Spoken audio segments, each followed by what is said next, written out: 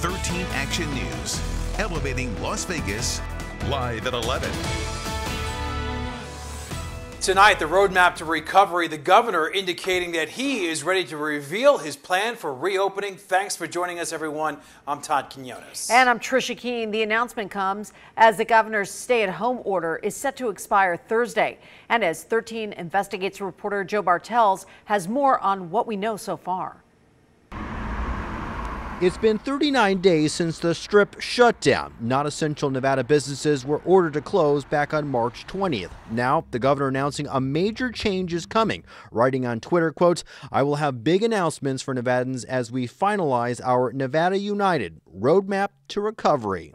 Once we begin phase one, we will be able to loosen restrictions on certain activities and businesses, and the loosening of these restrictions will be done in accordance with federal guidance that's tailored to Nevada's specific industries, businesses, and communities. At his most recent news conference exactly one week ago, Governor Steve Sisolak says the reopening of Nevada's businesses and economy will happen in one of four phases.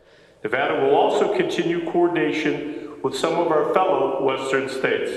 We're in close conversations now to share challenges, solutions, and best practices and I look forward to strengthening that partnership in the very near future. The governor tweeting Nevada has joined our neighbors, California, Oregon, and Washington, in a Western states pact for reopening. Also, certain necessary medical and dental procedures will resume, but additional protocols and cleaning procedures will be added. The governor says more announcements should be expected leading up to Thursday's presentation.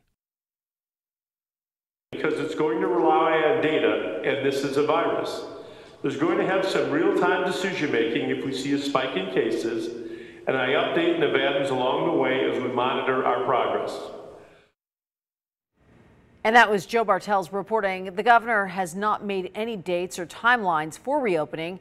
He has pointed out that the stay at home order and social distancing were the reasons for the announcements he's set to make this week. And the governor also tweeted out tonight he will be on Good Morning America tomorrow morning to discuss his plan.